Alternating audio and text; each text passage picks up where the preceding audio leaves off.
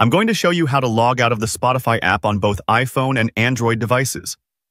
Whether you're switching accounts, troubleshooting, or just taking a break from music streaming, logging out is super simple.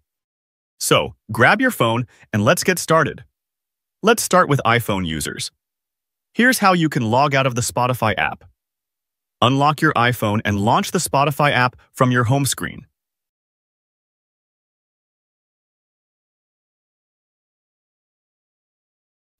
In the top left corner of the Spotify home screen, tap on the profile icon to open the menu.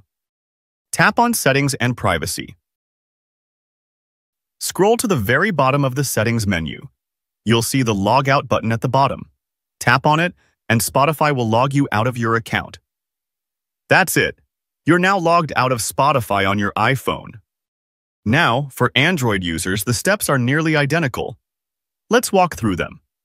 Unlock your Android device and launch the Spotify app from your app drawer or home screen. In the top left corner of the Spotify home screen, tap on the profile icon to open the menu.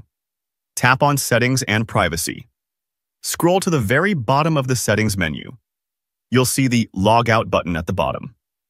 Tap on it, and Spotify will log you out of your account. And that's it. Now you know how to log out of the Spotify app on both iPhone and Android. It's quick, simple, and keeps your account secure. If you found this video helpful, give it a big thumbs up, subscribe to the channel, and don't forget to hit the bell icon for more tech tutorials like this one.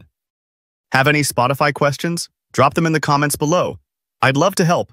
Thanks for tuning in, and I'll see you in the next video.